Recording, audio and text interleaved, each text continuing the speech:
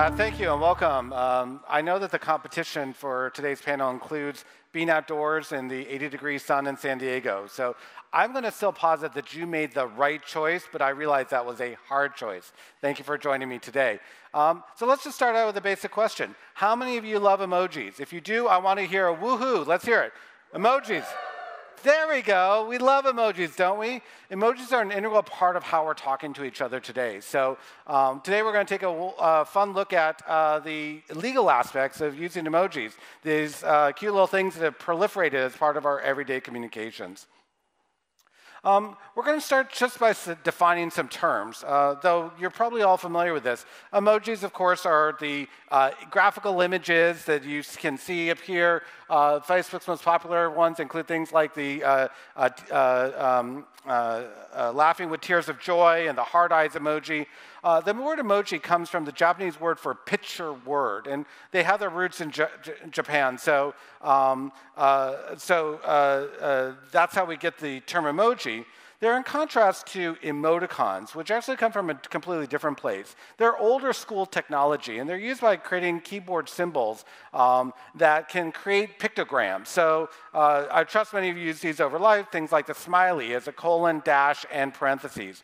Or sometimes people do without the nose, but I prefer the nose. Um, and the word emoticon, uh, emoticon comes from the combination of emoj emotion and icon. It's actually a happy coincidence that emoji and emoticon share the emo uh, phrase, but actually it's an accident. Um, a third category of uh, um, things that we could talk about are kaomojis. These are also from Japan. Um, and I trust many of you have seen this. Uh, what is this uh, particular uh, kaomoji? Shrug or whatever, right? This is what my kids show me every single day uh, when I talk to them. Um, and there's a whole different way, uh, different range of different types of kaomojis. Uh, these are all different types of faces. Some of them are giving high fives to each other. Um, and here's some cute little animals, uh, very Japanese. Um, and uh, kaomojis are formed by using keyboard characters, but unlike the emoticon, which are also used, formed using keyboard characters, you don't have to turn your head to see them. They come straight at you, as opposed to being rotated to the left or to the right. Um, we're going to talk about emojis today, although emoticons are going to make another appearance. I don't have much to say about kaomojis. They only make one more appearance. Um, so here's how some of these might look uh, compared with each other. You can see you got the smiley, the neutral, and the sad, and you can see the different implementations. I love the Japanese sad. That's actually a really good visual metaphor. The T is the uh, eyes are crying, so the bottom of the T is the tears dropping down. Um, you have to be kind of familiar with the uh, cultural references to make it work. Um, so what we're going to do uh, is take a look at old school questions. We're going to start with a question about how emoticons have um, come up in uh, case law. And there are uh, dozens of emoticon cases, and most of them are older, and I'll show you that in a moment. Um, but let's just take a look how something like this presents itself, um, the legal questions. So uh, here's an actual uh, snippet from a court opinion. Uh, it says defense attorney's email uh, proposed. Uh, uh, I'm sorry, the defense attorney emails the prosecutor and, and, offers to, quote, stipulate that my client is guilty, colon, and parentheses. The client later comes back and says, hey, um, by you stipulating, and I didn't give you consent, you violated my Sixth Amendment rights um, for um, ineffective assistance of counsel. Um, so what do we do with the colon and parentheses? Um, shout it out if you think you know whether this is a joke or something else. Uh, what do you think we should do with this? Any uh, thoughts? Get a new lawyer. So I presented this slide to a panel of judges, and when I got this far, you should have heard the gasp from judges. What lawyer would do something as crazy as this? But you guys have seen worse. You know that, yeah? Well, it was really not a hard analysis. Quote, uh, no one took counsel's frivolous email as an actual stipulation. Everyone got the point that the colon and parentheses was a joke, and as a result, um, they didn't give credit to this, quote, offer that was going to waive away the client's rights and potentially send the client to jail. As it turns out, of course, the client did end up going to jail, um, so it didn't really matter, a big deal.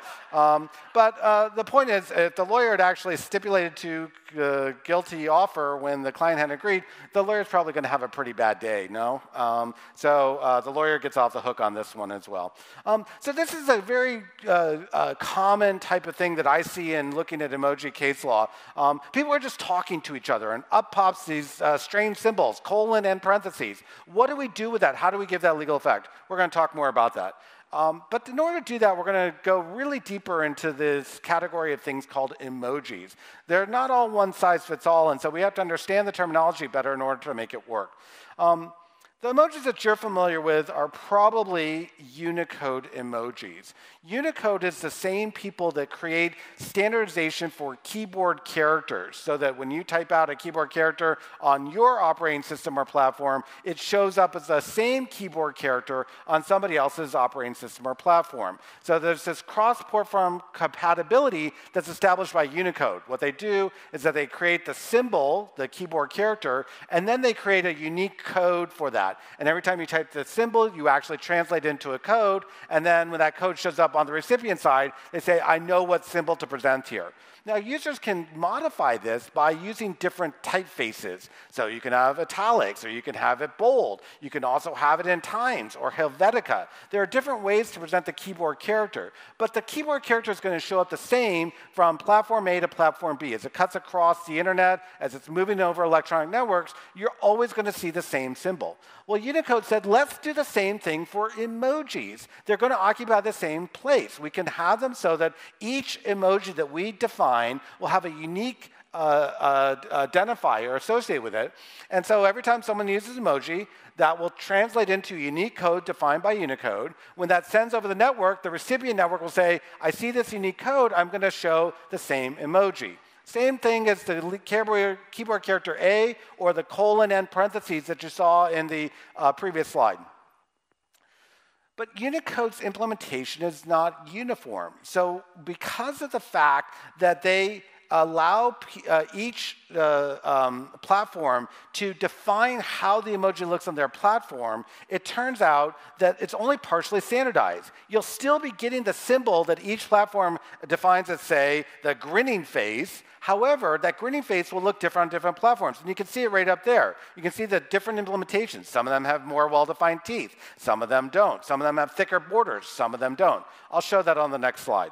Um, so most of the time when we talk about emojis, we're actually referring to Unicode emojis. That's how most people think about them because they are the main set that we're using in most of the day-to-day communications that involve emojis.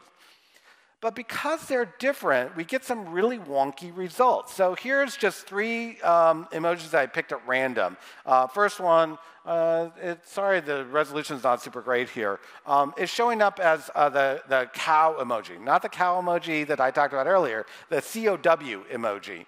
Um, and you can see that these don't look identical. You can see that some of them are brown, others are black and white. You can see that some of them are outlines cut away, others are rotated uh, partially towards the uh, camera. You can see that some have udders, some don't. Some have a bell, some have horns. They're all a little bit different. And I'll give you hypotheses about why they're different soon, but recognize now when I send an, a cow emoji, I might see one of these depictions, the recipient might see one of the other ones. Or take the eagle emoji. Why does anyone need to depict an eagle emoji differently? You can see some of the emojis are in flight, others of them are just the head. You can see that some of them have uh, uh, uh, brown uh, um, uh, feathers, others have black.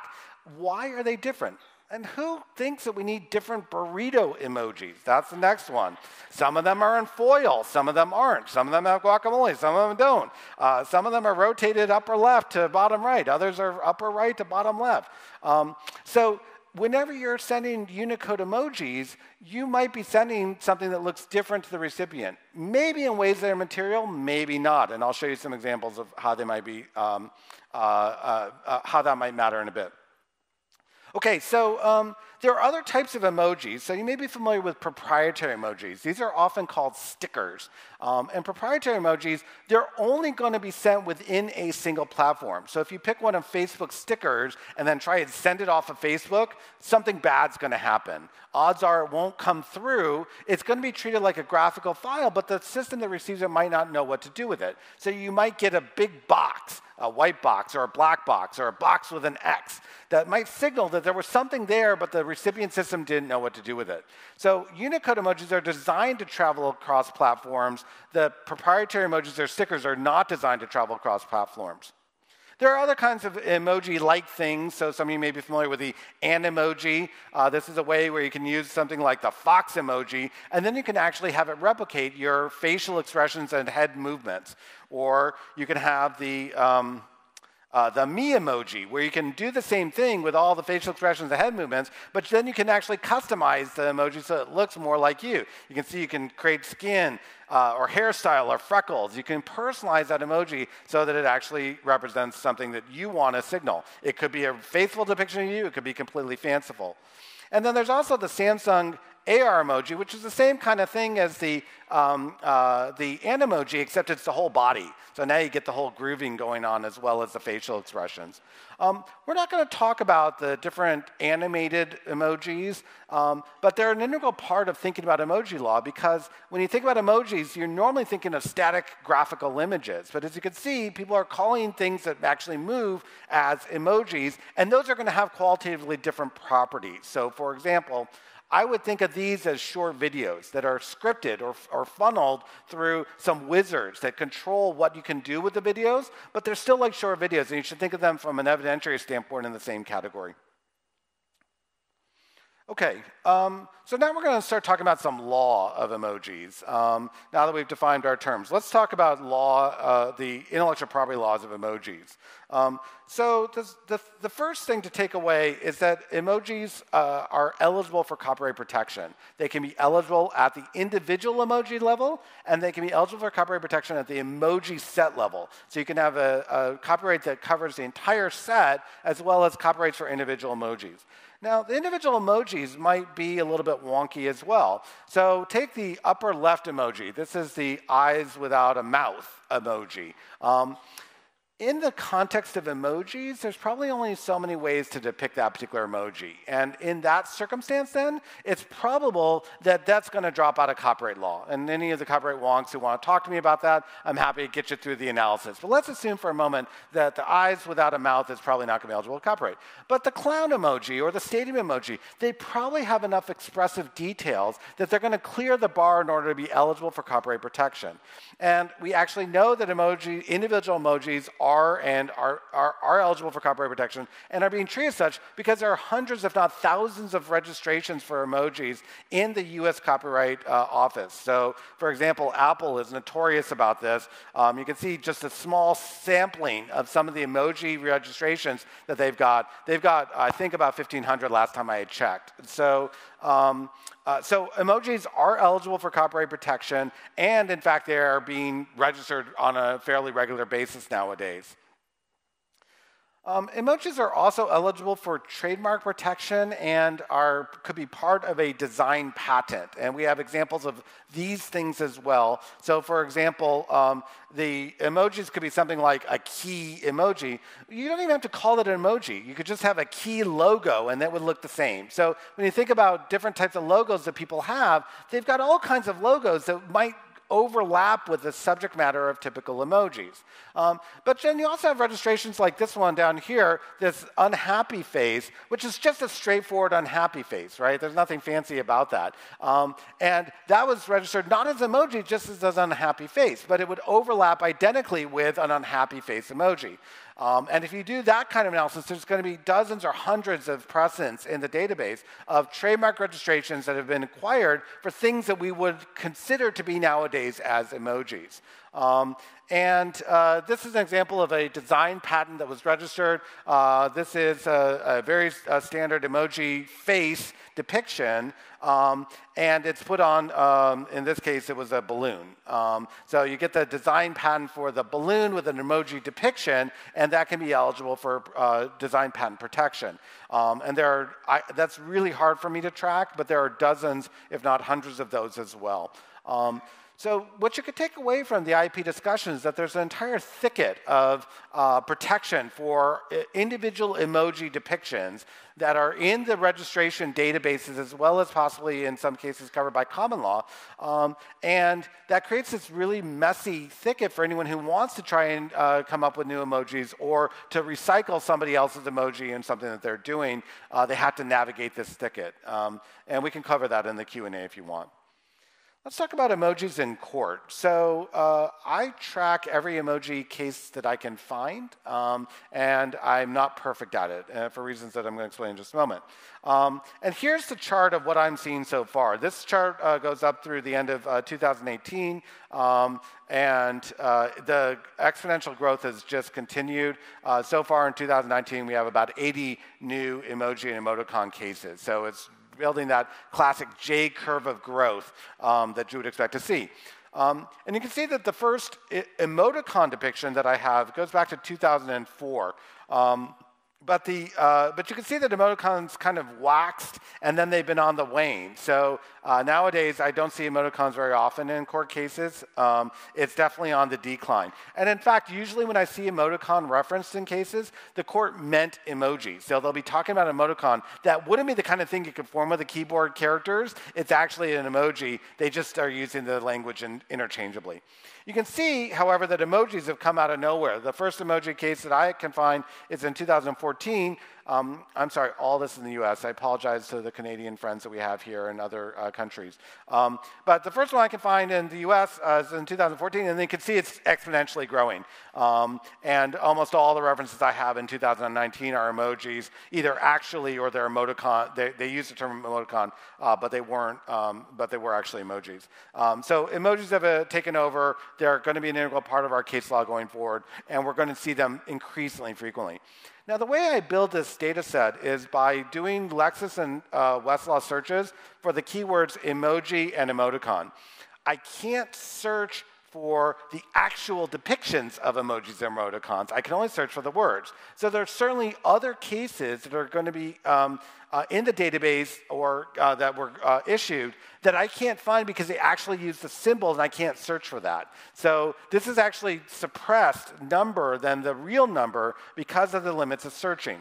Um, I will also add uh, that um, uh, it's depressed because so many cases never show up in Westlaw or Lexis. So, for example, um, many of you may have read, read news reports about um, uh, people being prosecuted for using emojis, like having three pistol emojis aiming at, a, a, a at the police officer emoji. Um, those kinds of situations um, often don't get into the database, but they're actually happening as well. So it wouldn't surprise me if many of you are now encountering emojis in the field in your practice because of the fact that they're such an integral part of communication and um, people are getting into trouble using them. Um, so I mentioned that I can only do the search for the keyword emoji and the keyword emoticon, and not the actual ones themselves. Uh, there was a paper that just came out from a uh, law librarian at Duke, uh, Jennifer Behrens, I think is how you pronounce it, who tried to actually find cases and uh, law review articles that had the uh, emoji or emoticons in them. And so she created a data set of cases and articles that had the emojis or emoticons in them, and then tried to pull them up and see if they were properly depicted in various different databases. The things you can take away, the kaomojis are just an outright strikeout, right? Courts can't handle the kaomojis at all.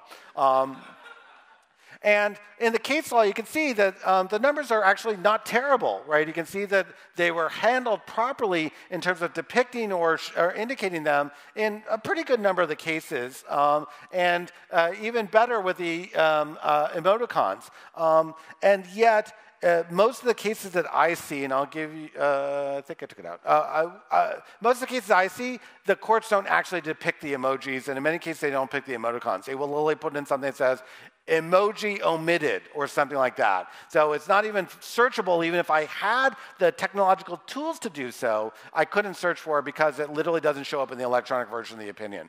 Now, if you're working at any of the places on the left, I beg you, let's do better with making it so that I can actually search for emojis or emoticons. That's an integral part of how we're talking together. Your search tools can't handle it. The emoticons, those are like some of the Boolean connectors. So when you put it in, it doesn't like that at all all. Um, it just doesn't search. And of course, you can't do graphical searches on either uh, the main databases. Uh, one last little factoid for you about litigation. Um, here's I tried to do, this is like totally hacked, you know that. Um, the data set's all messy, but I tried to put together what emojis actually had shown up in court opinions, either expressly or by reference. Um, and so here's what I came up with. Not surprisingly, the face emojis make the biggest appearance. Um, and uh, then you can see the next one is gun. And then if you look below, you'll see other stuff that shows up are knives, bombs, fists. So we love each other or we hate each other. That's pretty much how it goes with emojis. Um, and uh, uh, the, um, uh, the, one of the reasons why the face emojis show up so often is the the number one category of cases that reference emojis or emoticons, it's not a majority, but let's say it's roughly 25%, involves sexual predation cases. And so these are people, usually older male, trying to solicit sex from a younger female, and there's, or a law officer pretending to be younger female. Um, and there's a lot of what I'm going to call, for lack of a better term, flirtatious chatter that takes place in the sexual predation cases. So in those moments where you have that kind of flirtatious chatter, those are the kinds of circumstances that create the possibility for emojis or emoticons. So it's not surprising face emojis are among the most used, but they're also going to show up in litigation most heavily because of the nature of the cases where they show up. I'm going to spend uh, much of the rest of my time here talking about interpreting emojis. Um, and uh, this is such a fit, rich, fascinating topic. What do we do with these emojis that are in uh, these communications? How do we understand them? I already gave you one example with the emoticon, and most of you had no problem saying, of course, that was supposed to signal a joke, a terrible joke that the client wasn't laughing at, but still intended to signal a joke. We all got that. Um, so let's start with the basic premise here that common law courts over the last hundreds of years have developed a lot of tools to interpret new new technological ways that people can communicate with each other. That's not new for the courts. The particular technology might be new, but the coping mechanism with new technological ways of communicating with each other are uh, something that courts have wrestled with for centuries. And so as a result, the standard hypothesis going into an emoji case is all the things that I learned from ye old days, the 17th century English cases, can still apply in this context as well. We know what to do when we see different ways of people communicating to each other. The question is, is there something unique, special, or different about emojis? Now, that's what I'm going to turn to, and I'm going to make an aggressive argument here. And it's aggressive only because this is the kind of stuff you as lawyers are going to stress test. I'm going to argue to you that there are some things that are unique, special, and different about emojis that pose some interpretive challenges. But I have to make that case to you. I can't just simply assert that.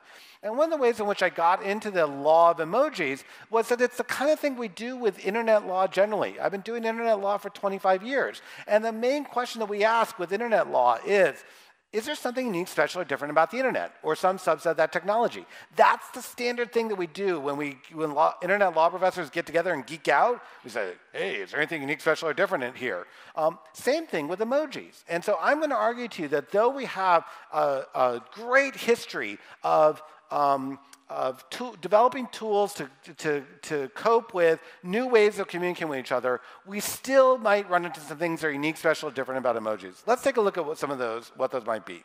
First, there's just the, the uh, visual decoding challenge of emojis. Now, some of you are millennials. Maybe we even got some Gen Z here. You have better eyes than I do.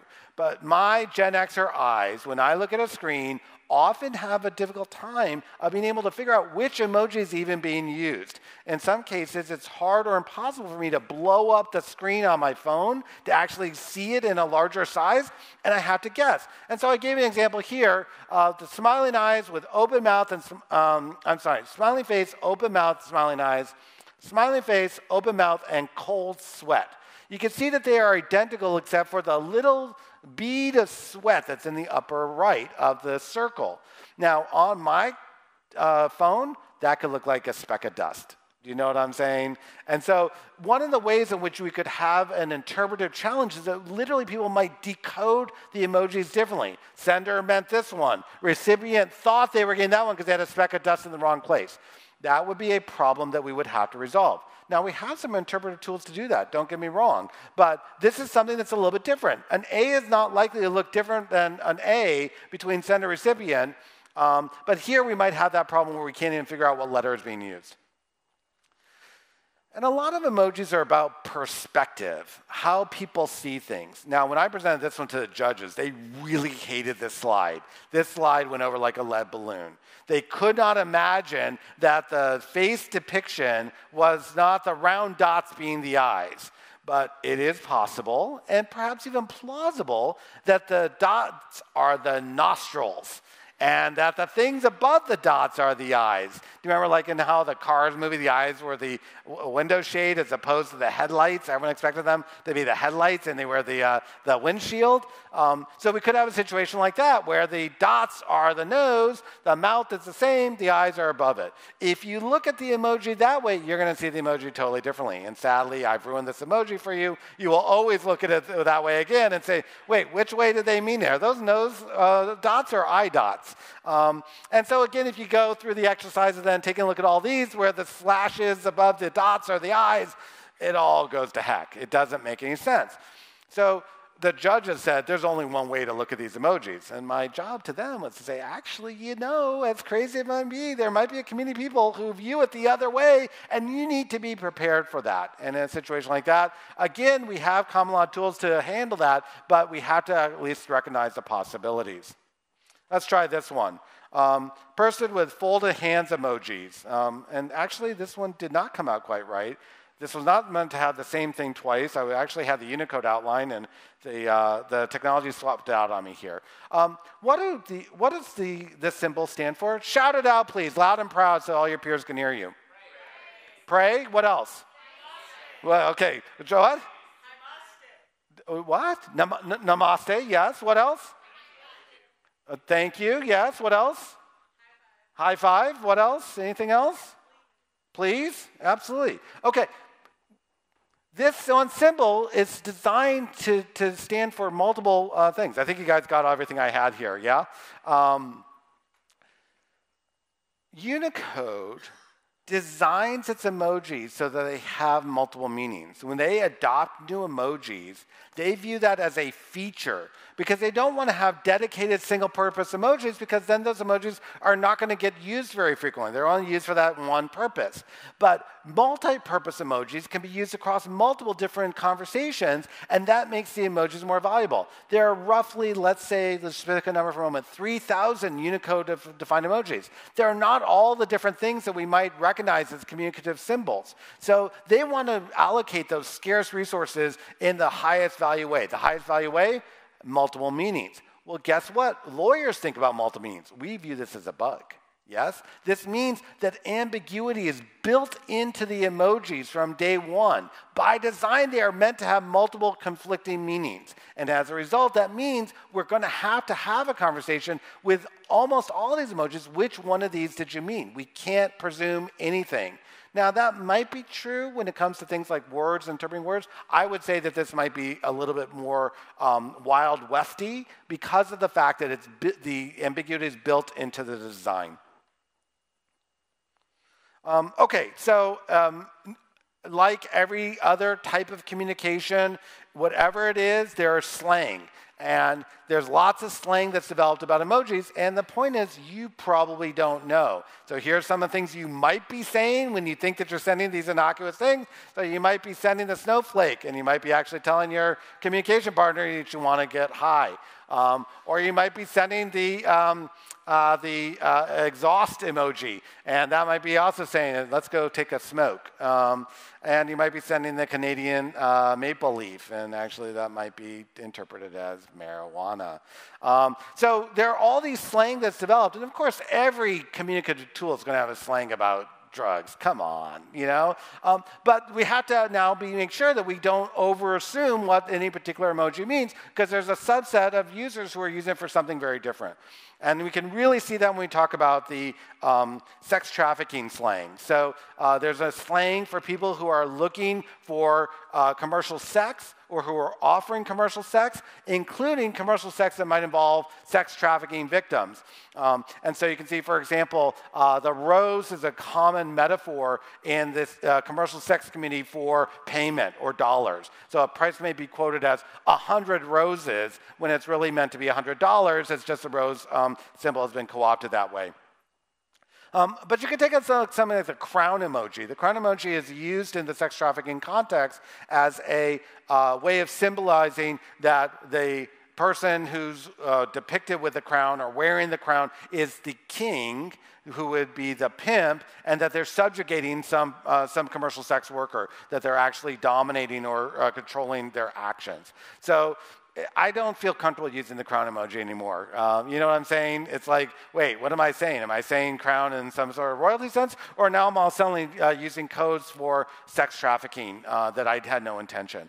Now, slang is nothing unusual in any type of communication. Every hand symbol has slang. Every word that we use has slang. Um, every visual metaphor that we develop develops slang. That's not unique. But here is something that is unique. And I'm going to go there, guys. You knew this was going to come up, but we're going to go there. We're going to talk about the peach and eggplant emoji.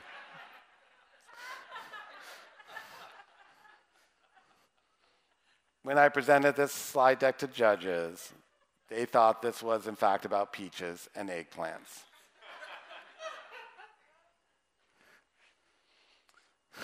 the peach emoji is a uh, metaphor for tush or butt.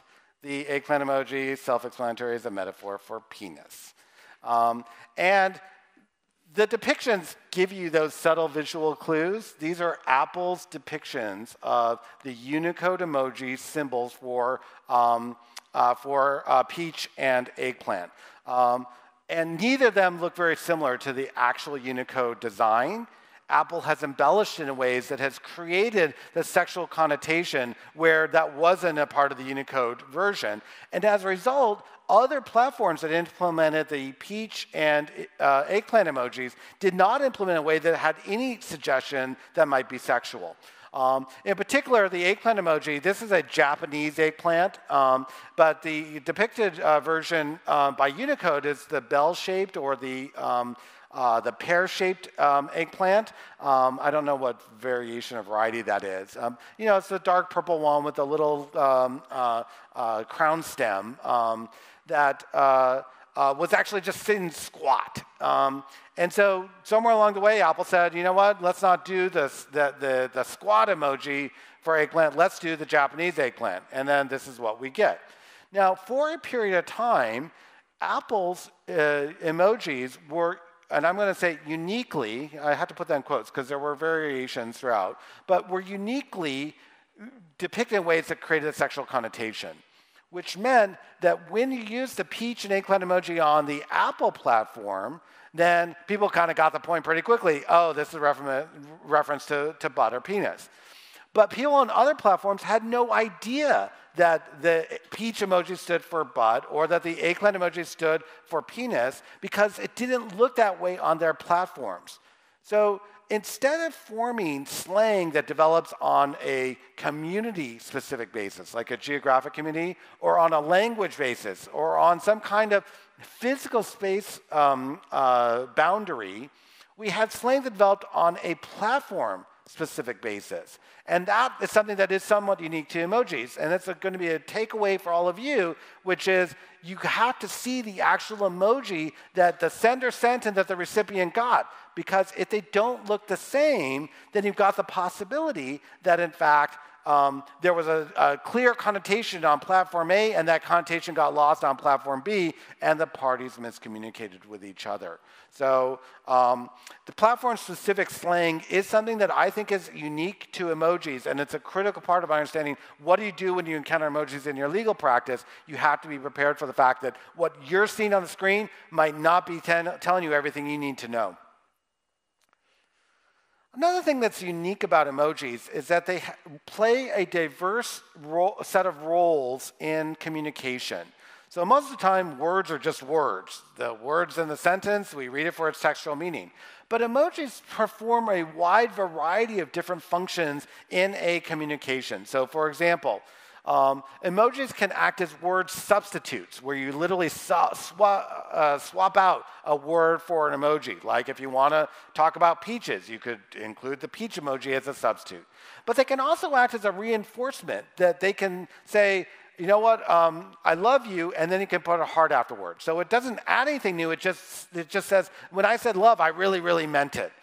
They can also send a mixed message, kind of like the, uh, uh, the smiley emo emoticon did in the uh, case I gave you earlier, where you send one message with a text, you send another message with an emoji that cuts under, uh, that undercuts that message. So um, uh, you can imagine something like an eye roll emoji would do that in almost all circumstances. Whatever you said before wasn't meant to be taken at literal value, it was meant to be flipped on its head. Um, they can also act as complements where they extend the communication. Um, they add something more to the communication. This is like how you can add emotional context to um, the uh, uh, to a, a, a, text message. Um, you can also use them for emphasis, where you can really pound a particular message home. And then you can also use them for what um, the linguists sometimes call discourse management. This is the um, body language, the vocal inflections, the head nods, um, the facial expressions that we make when we're communicating face uh, to face with another person that tells them that things are going okay in the conversation. So it's not designed to do anything more than just to facilitate or keep the conversation going. Um, and so uh, uh, they're not um, uh, performing any other con- uh, uh, substantive um, uh, uh, semantic role. They're simply acting as a way of keeping the conversation looking like it's still friendly, like you're still engaged, like you're actually still understanding your communication partner. So, another thing that I think is unique about emojis is that emojis could be playing any of these six roles. And in fact, the same emoji could be playing all six of these roles in the same message. So you can't assume what role emoji is playing in a message because, in fact, there's no equation with that. You have to interpret it in the context of everything around it.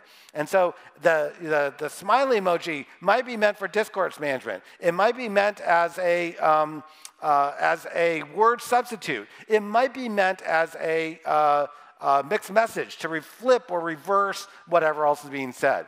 Um, the same exact emoji performing multiple functions. This is something that, that courts aren't used to seeing because we don't have other communication symbols that generally would play that kind of role. And that's something that you can all be aware of when you're working with interpreting emojis.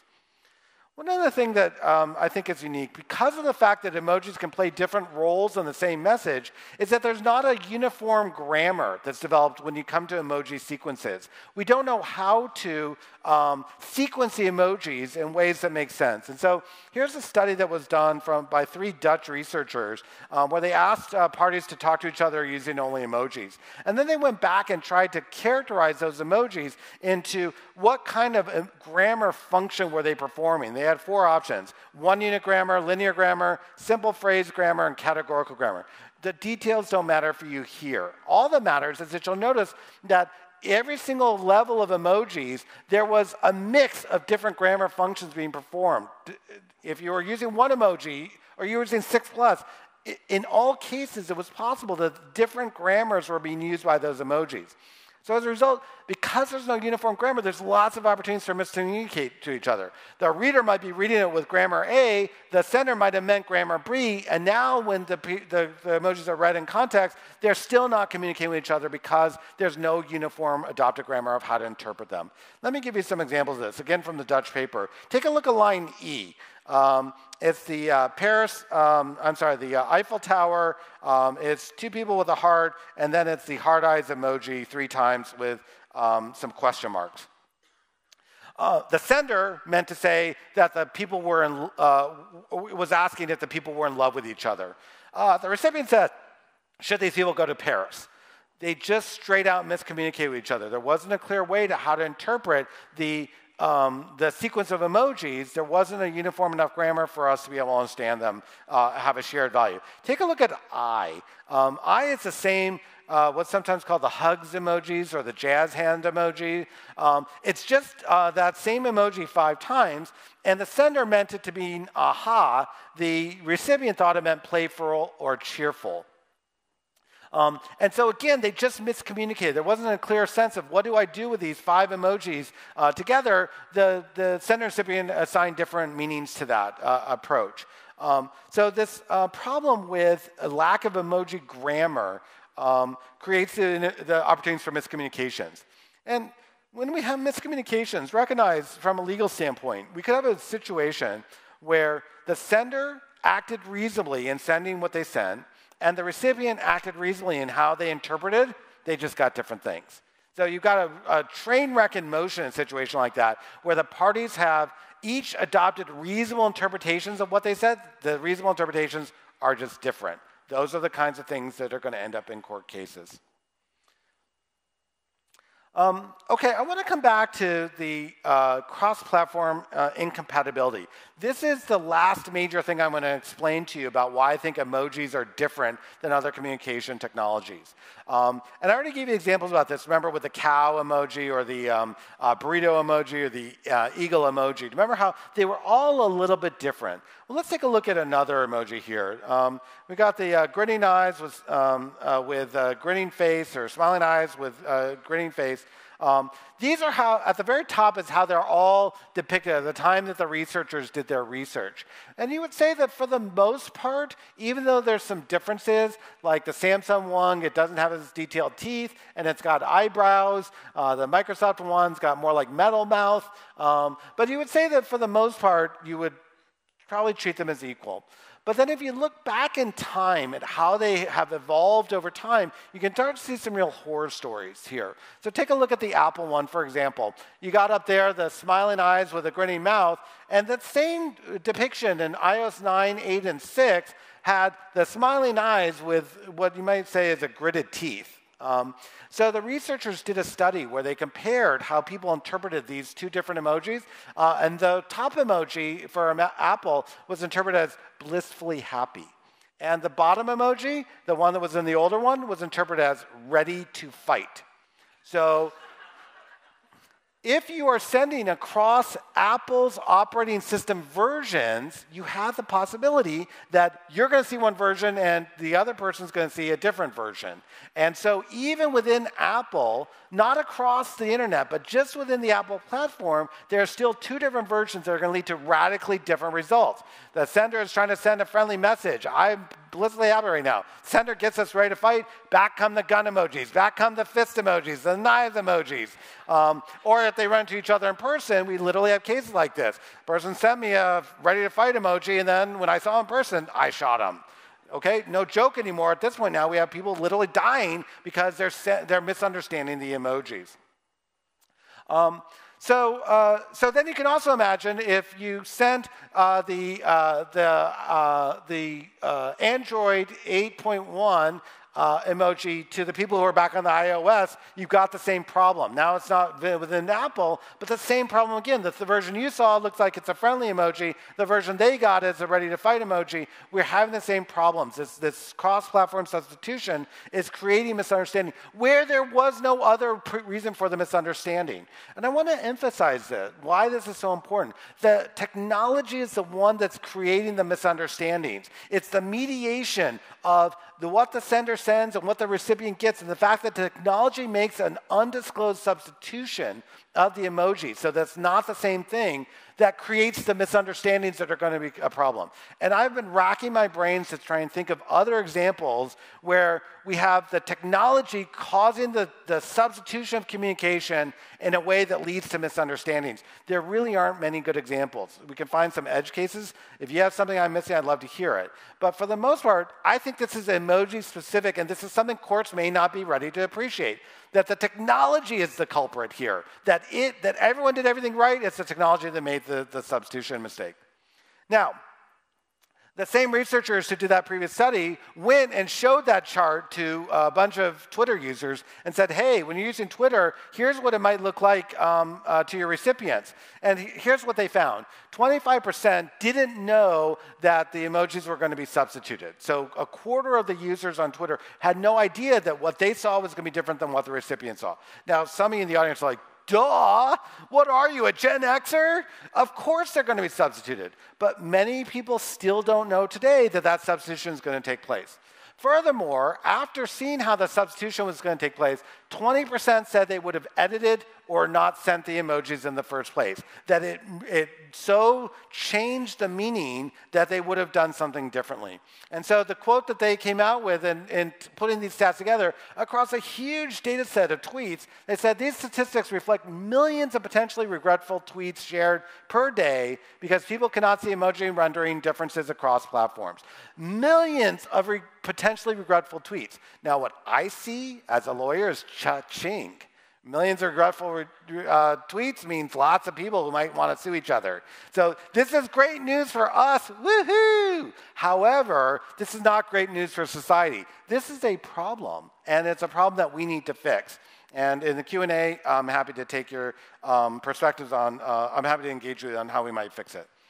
So let's take a look at one of the examples of substitution. This is the astonished emoji, and this is one of the worst emojis when it comes to cross-platform depiction diversity. So the version on the left is the Unicode outline. This is what they adopted as a standard depiction. And you can see that some of the other emoji depictions were similar to that. But take a look at some of the ones that aren't. So the third one from the left is the Google adoption. Now, I don't know what that means with the uh, asymmetrical eyes and mouth, but it doesn't mean astonished to me. whatever it means, it's not that.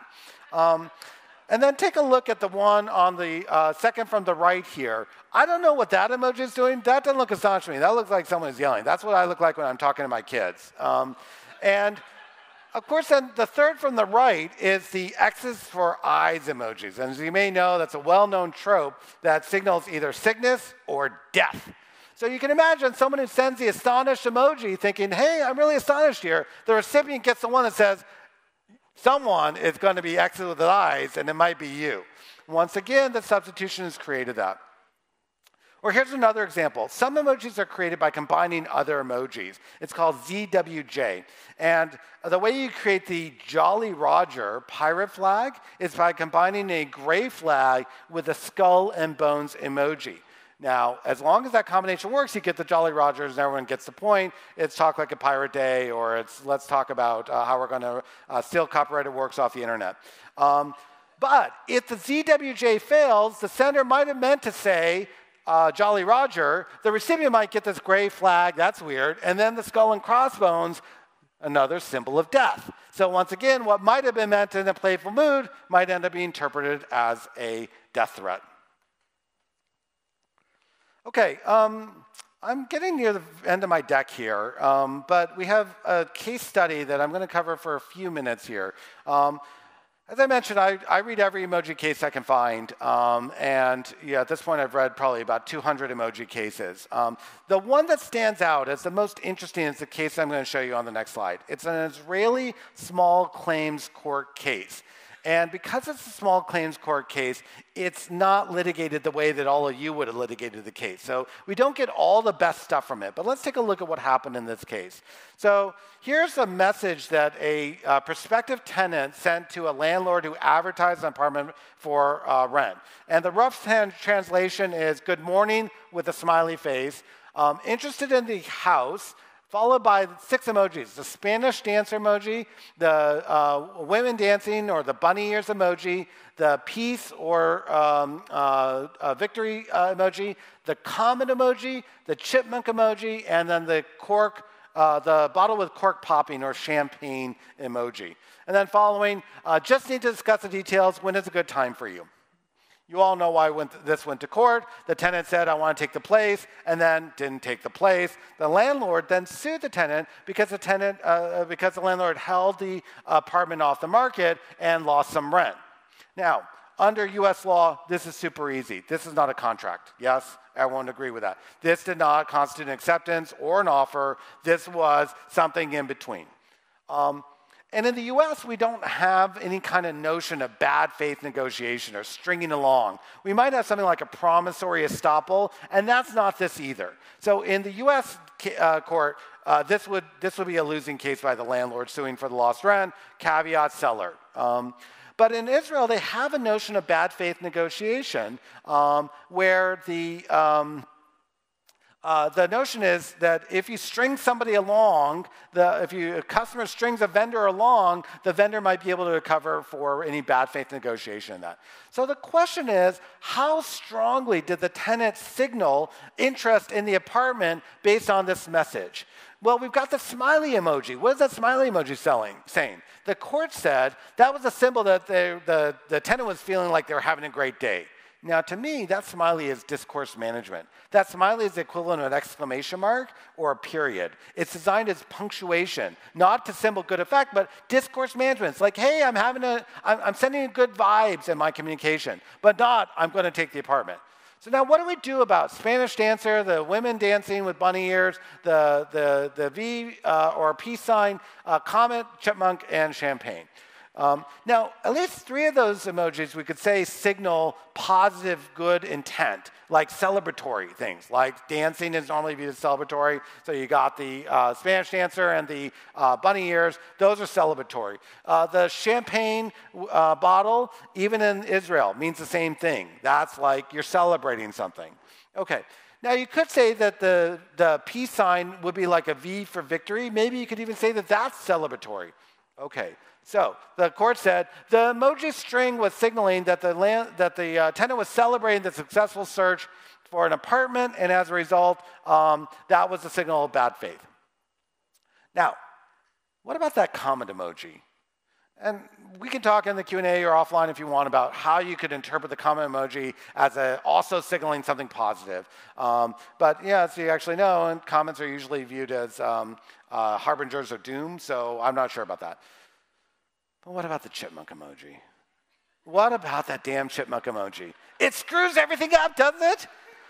Now, I've asked a lot of Israelis, do chipmunks have some special harbinger of good tidings in Israel? The answer is no. The Israelis are baffled by it too. You got a theory? What? Squirrel what? A fountain's nut. Okay, so I'm sorry, I have to be that guy, but I will get chewed out if I don't. It is not a squirrel, it is a chipmunk, and it makes a difference. I'm sorry, guys, I gotta tell you this. It is a chipmunk, it's not a squirrel.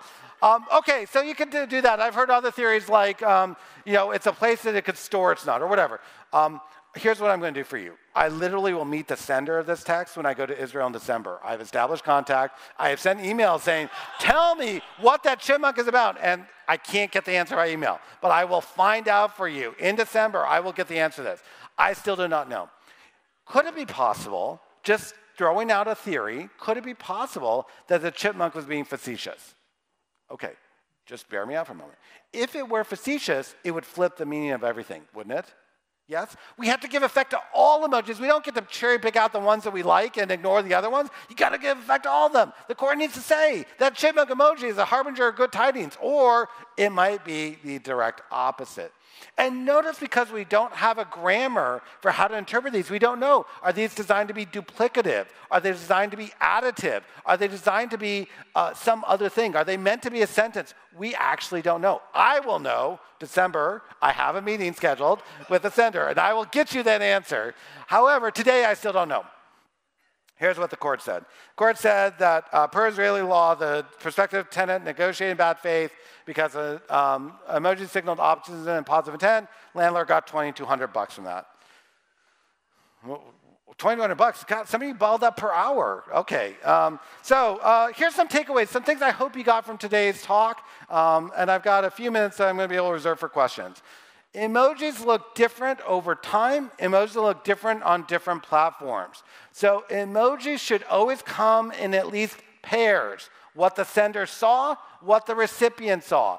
At the time they were sent, not when you pull it up in your e-discovery request, where you might be substituting in, just like the, this system took away my emoji with the prayer hands. It's, I had a different symbol there. It substituted out on me.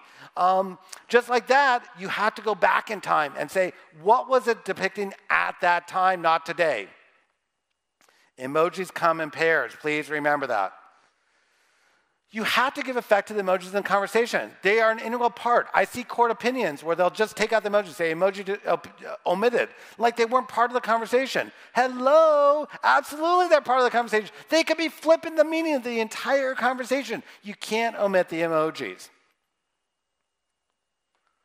Emojis can perform different functions in the same sentence. So if the judge comes in, well, the smiley emoji is always meant to do X, you're like, it could be Y or Z. And here's all the different ways in which it could work. And finally, you may not be in charge of this, but this is my request to all the judges. The emojis have to be in the opinion. Please don't cut them out. They're part of the communication. Literally, judges exclude them. Um, so I have six minutes for Q&A. I don't know uh, if we have a microphone that's going to be run or if you're going to have to shout out loud, but I'm going to take your uh, questions and comments right now. And I can't see so well in the back, but we'll take the one up here. How about that? Loud and proud, please.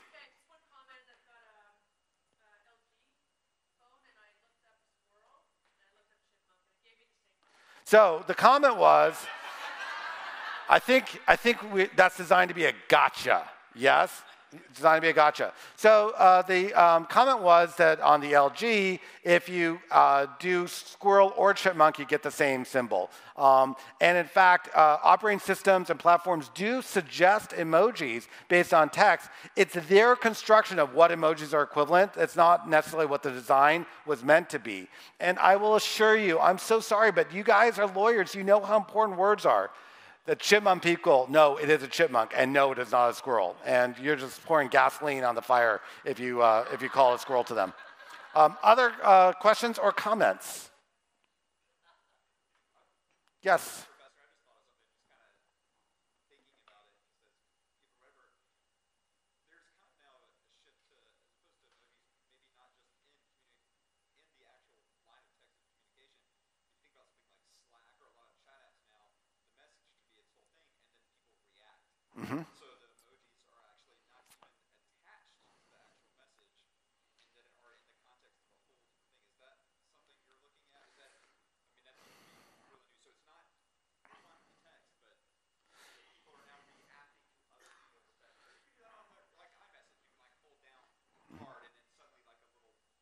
Or on the iPhone, you can do the ha-ha emoji, which is what I normally do to the kids to taunt them.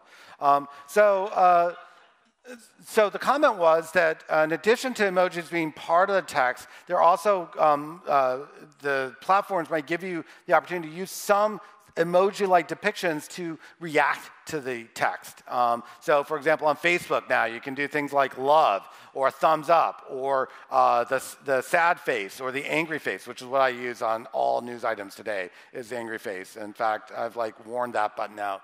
Um, so, um, uh, so I don't really have a good model for how to deal with those differently. And they're, they are different in at least one respect.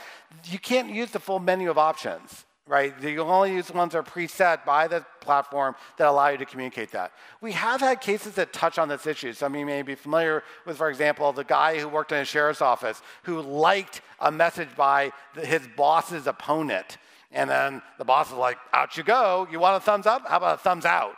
Um, and literally fired him for liking his opponent's um, Facebook message. And that was viewed as an expression of speech that was therefore not appropriate basis for firing, and so it was literally an illegal firing by using that. Um, that's about the best I got for you on that one. We haven't seen any other developments of how the um, uh, the react emojis as reactions um, could change the analysis. It's a great question, though, and something I'm, I'm going to be interested in watching. Uh, next question.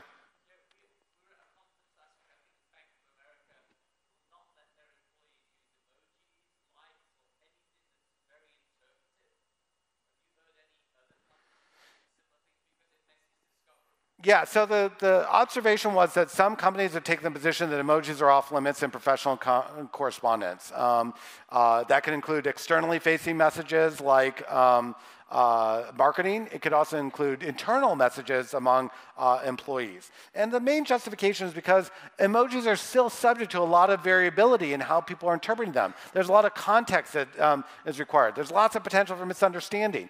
I personally think that anyone who bans emojis is like, like you know, but why don't you go kick some puppies while you're at it? Um, you're taking away such an integral part of how we communicate. How could you do that? It would, breaks my heart. I couldn't even talk anymore. And it's so millennial unfriendly. It's like, hey, welcome to the company. You can't actually talk like a millennial anymore. We're going to take away that opportunity for you. Um, so, uh, but, but go ahead and talk uh, amongst yourself anyway. Um, many of the cases that I see um, involve intra employee conversations like sexual harassment or racial harassment or discrimination. Um, emojis are coming up in them. They also pose a problem for e discovery. So there's lots of opportunity for e discovery vendors to think carefully about how emojis are being integrated into the, uh, into the, um, uh, the software tools. Um, but I personally think that's a huge overreaction. Um, yes, emojis are susceptible to misunderstandings. Um, that is a, a risk, um, but the gains are so much better. I'll take last question from Eli here. Yes, ma'am.